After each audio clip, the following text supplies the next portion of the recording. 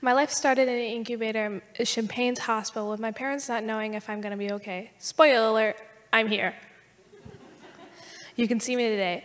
But it didn't stop me from knowing I had struggles along the way. At a very young age, my mom noticed my weird behavior. For example, instead of playing with Barbie dolls or other toys like other kids, I would play with a fork and spoon.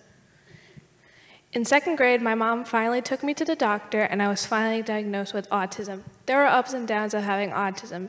As a kid, I went to many therapists and doctors. I was put on a lot of medication. I was in a neurotypical classroom. That was kind of hard for me.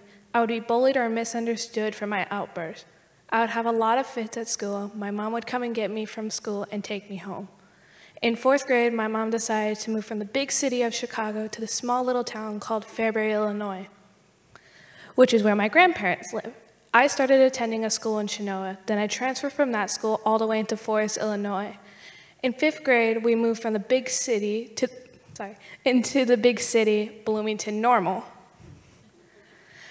During my middle school years, I attended Evans Junior High School. At Evans, they had a program for kids with disabilities and special needs. Every time I moved, yes, it was overwhelming, but it felt like I had a new opportunity to be a whole new person, hide who I am, and not be bullied. Now, that sounds really nice as someone's outside perspective, but for those three years, it was not the way Hollywood made it seem. At Evans, all, many of my teachers told me that my goals were not possible. That is when the bullying became worse. In my PE class, a boy had asked me if autism was a disease. I told him no, but he convinced everyone in my sixth grade that it was a disease. They thought they could catch the autism. I talked to my teachers and I was told just ignore it.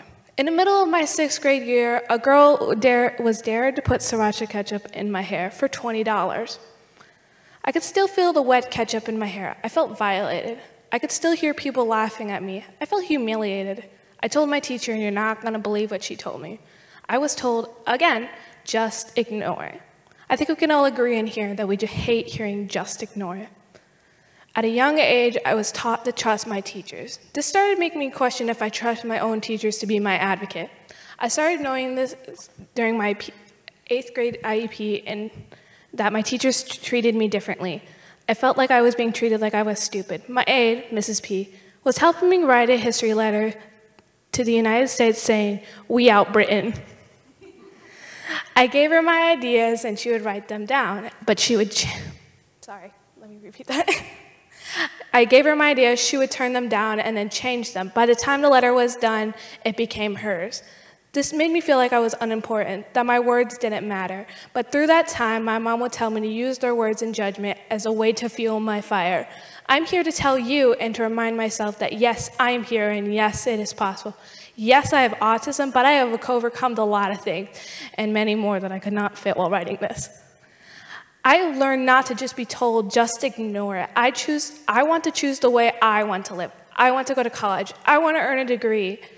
I want to be a teacher in New York or even be an administrator at my church, Eastview. There are so many possibilities for the way that my life could be, and it will be the way I choose it.